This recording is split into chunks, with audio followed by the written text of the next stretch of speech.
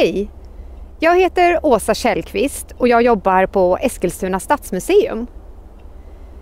Jag vill ta med dig på en vandring genom Eskilstuna och titta på hur några utvalda platser har förändrats med tiden. Det blir som ett slags då och nu med hjälp av gamla bilder från museets fotosamling och helt nytagna bilder. Arkivbilderna är olika gamla. Ibland går vi tillbaka till 1950-talet och andra bilder är så gamla som från slutet av 1800-talet.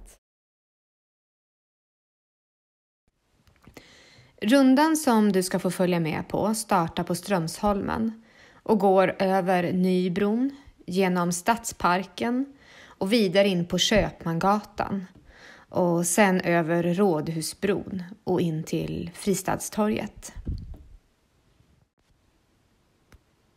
Här står jag på Strömsholmen med Stadsmuseet bakom ryggen och med näsan vänd mot Nybron. Nästa bild du får se är tagen på samma plats 120 år före min. Och den bilden har en annan vinkel eftersom fotografen står högre upp. Fotot är taget från Strömsholmens restaurang som byggdes 1899. Det var en sommarrestaurang som öppnade på valborgsmässoafton varje år. Och det var en populär restaurang som fanns kvar fram till 1953. Så här såg restaurangen ut. I bakgrunden syns Munktells mekaniska verkstad och i förgrunden syns en gångbro. Här syns samma gångbro till höger i bild och den ligger ju på nästan precis samma plats som dagens gångbro finns på. Gångbron över till den så kallade Sliphusholmen sattes upp 1887 och det är faktiskt större delen av Fors återanvända gamla kyrkobro. Tror du att de nyplanterade träden är de samma som står på Strömsholmen idag?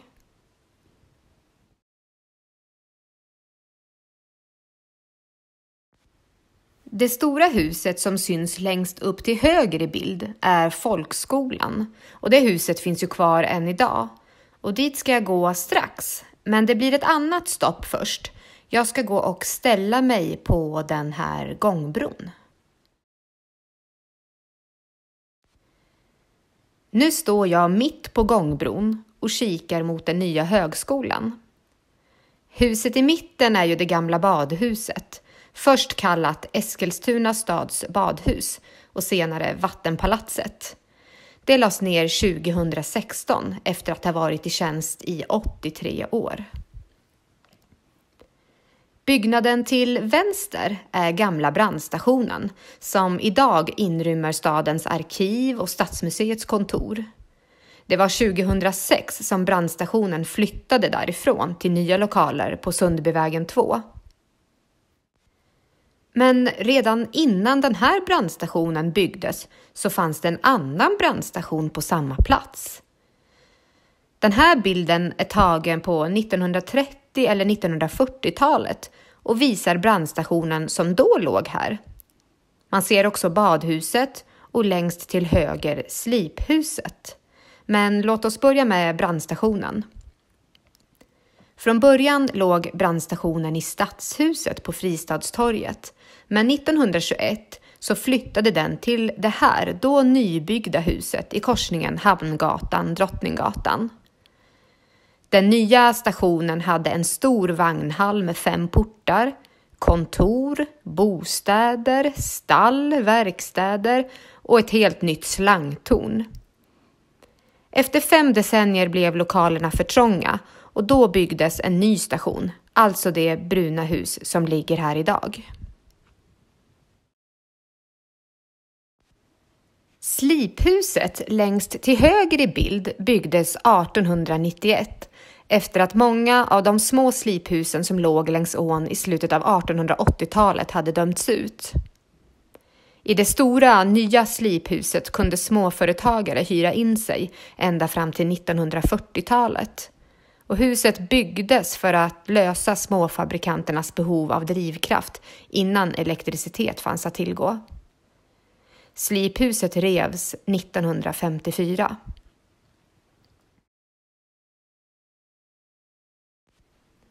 Nu har jag gått vidare fram till det stora huset som jag nämnde tidigare.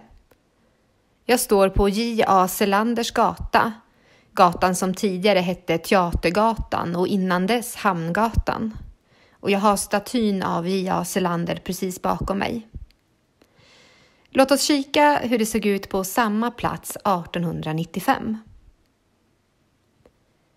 Det här huset byggdes 1886 och inrymde Folkskolan, senare Nybroskolan. På senare tid har huset inrymt restaurang och nattklubb.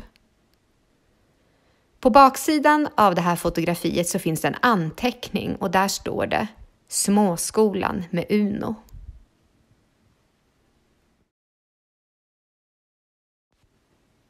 Jag har rört mig ytterligare en liten bit och står nu på Nybrogatan med Stadshotellet till höger och jag tittar mot Nybron och Klosters kyrka. Det här fotot är taget på ungefär samma plats, om än högre upp, precis i början av 1900-talet. Kyrkan är inte byggd än, men en annan byggnad skymtas i vattnet till höger. Det är kallbadhuset som byggdes 1879. Och badhuset byggdes endast för herrar men utvidgades så småningom även för damer. Formellt var badets namn Eskilstuna stads bad och siminrättning, men det kallades i folkmun för Sumpen. Badhuset revs 1932. Vi stannar kvar på samma plats men vrider fram tiden lite grann och kika på nästa bild. Den är tagen på andra hälften av 1920-talet och som du ser så pågår nu byggnationen av Klosters kyrka. Badhuset kan man också skymta här. Huset till höger kallades Skärgården, troligen för att Fältskär Kjelléns mottagning låg där. I huset låg också Höglunds cigarraffär. Nu ska jag gå en lite längre sträcka. Jag ska gå över Nybron och svänga höger in i Stadsparken. Nu har jag kommit fram till Stadsparken och för att ni lättare ska förstå vart jag befinner mig någonstans så har jag bett en kollega att ta en bild på mig när jag tar bilden. Det är alltså här jag står när jag fotograferar.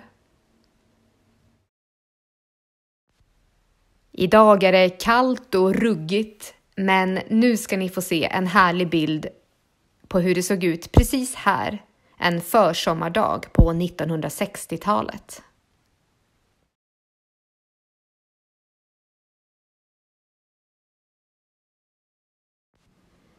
Jag är fortfarande kvar i stadsparken men har vänt mig om och blickar mot centrum.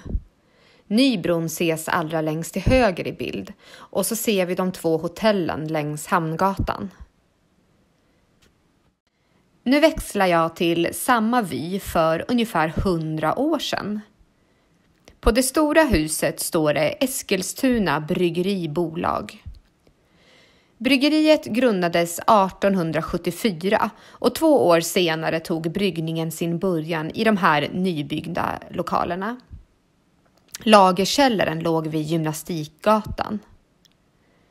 Mellan 1878 och 1911 utvecklades Eskilstuna bryggeri till ett av de största landsortsbryggerierna och med tiden tog man över Strängnäs bryggeri, Lindesbergs bryggeri och Köpings bryggeri. På 60-talet övertogs Eskilstuna bryggeri i sin tur av AB Pripp och Lyckholm och blev sedan en del av Pripp Bryggeri AB. På bryggeriet i Eskilstuna såldes bland annat bayerskt öl, svagdricka, bocköl och jäst och bryggeriet det lades ner 1973. Längst till höger i bild så syns det tidigare nämnda huset Skärgården och man kan också se Sankt Eskilskyrkans två torn. Den kyrkan byggdes 1902 och stod kvar till 1966.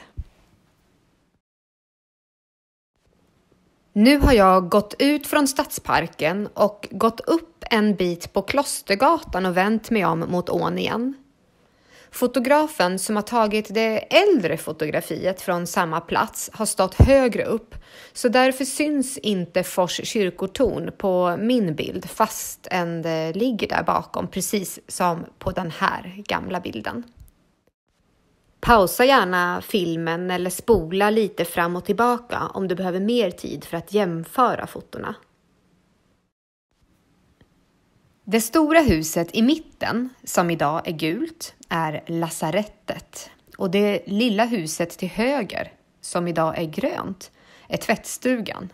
Och den långa, låga byggnaden precis till vänster om huvudbyggnaden är obduktionslokalen. Hit flyttade lasarettsvården hösten 1836 och den blev kvar till 1871. Då inrättades här ett barnhem. 1947 övertogs fastigheten av Folkskolestyrelsen för att användas till skolmåltidslokal fram till 1967.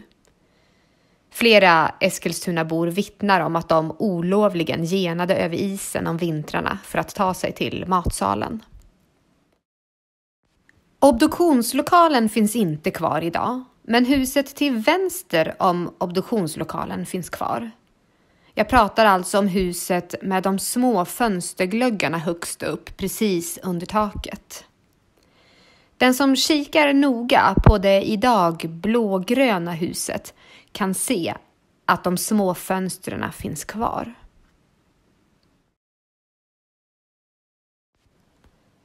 Det ljusa huset längst till vänster i bild var kronofogde Kramers gård som byggdes 1832. Men det huset finns inte kvar idag. Jag har nu gått en bit längs Köpmangatan och gjort en avstickare ner till ån. Solen skiner fint på det som idag är kyrkans hus. Nu backar vi tiden igen.